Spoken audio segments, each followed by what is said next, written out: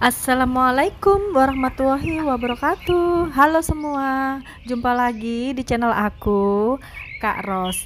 Oke kali ini aku akan membuat ikan bakar. Nah ini tuh ikan hasil pancingan Pak Su alias Pak Suami Nah, di sini aku akan masaknya itu separuh aja ya karena ini itu ikannya besar banget. Ini sekitar 2 kilo gitu. Jadi kalau dimasak semua nanti pasti nggak habis ya.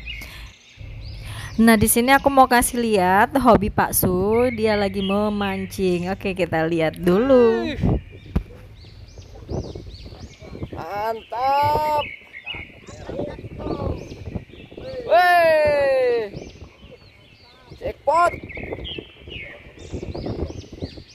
Sepertinya seru banget ya. Oke, langsung aja kita eksekusi ikannya. Nah, di sini aku masaknya separuh aja. Kita bagi dua. Nah, di sini susah banget. Jadi aku minta tolong bantuan sama Pak Su. Oke, kita serahkan dan kita lanjut membuat bumbu ikannya. Nah, di sini udah ada bahan-bahannya. Ntar aku taruh di deskripsi. Lanjut, kita haluskan dulu ini bumbu-bumbunya. Kita blender, kita haluskan dulu seperti ini.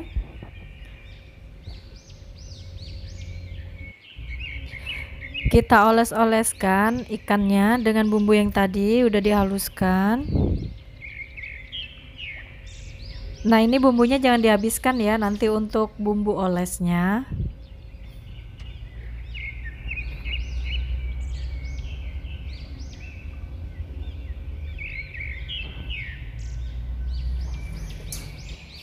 Oles hingga merata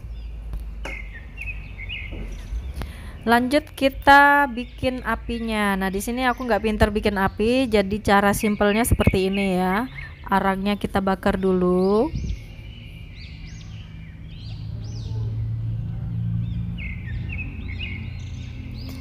Ini cara praktis ya. Bakar dulu arangnya di kompor. Kemudian taruh di wajan seperti ini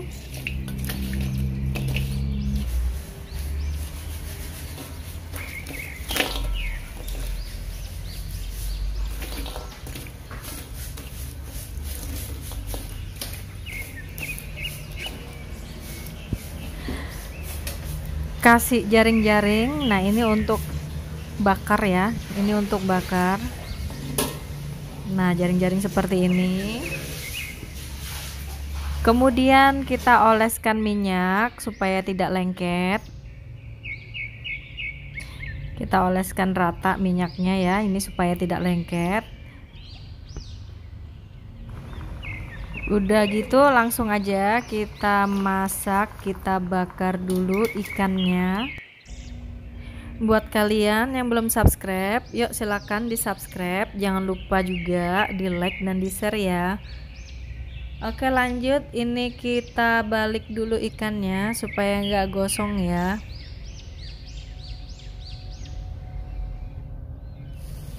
Ini tuh gede banget jadi agak susah ya baliknya ya untuk bumbu olesnya kita pakai bumbu yang tadi satu sendok makan tambah minyak goreng tambahkan juga kecap manis secukupnya aduk-aduk kemudian kita oleskan. Nah ini dioles-oles saja ya sampai merata ya di sini oles-oles sampai merata.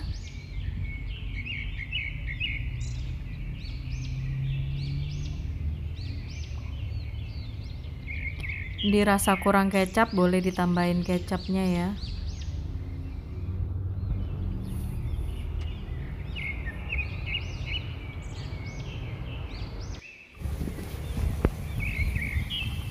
Nah ini dibaliknya kita oles-oles juga ya Oles-oles sampai merata lanjut kita bakar.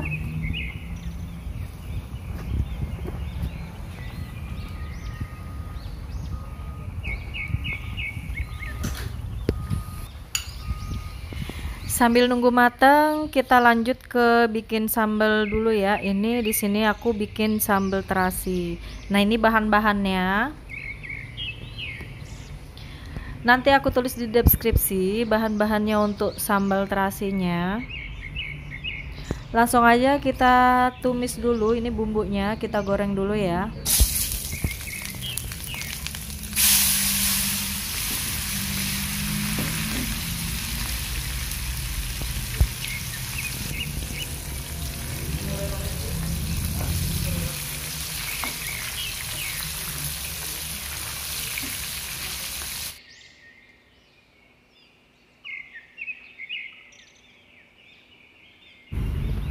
Nah, ini udah matang ya.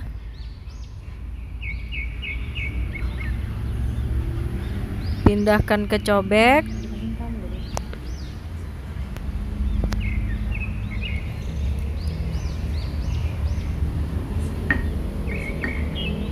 Kita haluskan, jangan lupa tambahkan garam, penyedap, gula pasir dan gula merahnya tadi ya.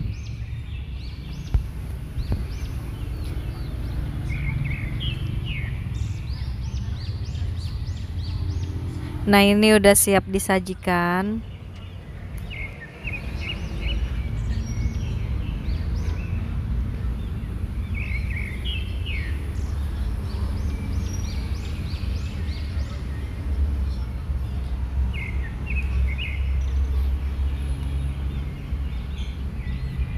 Oke, di sini buat yang suka pete boleh ditambahkan pete ya. Ini saya tambahkan pete. Nah, ini udah siap. Oke, semoga bermanfaat. Saya pamit dulu. Assalamualaikum warahmatullahi wabarakatuh.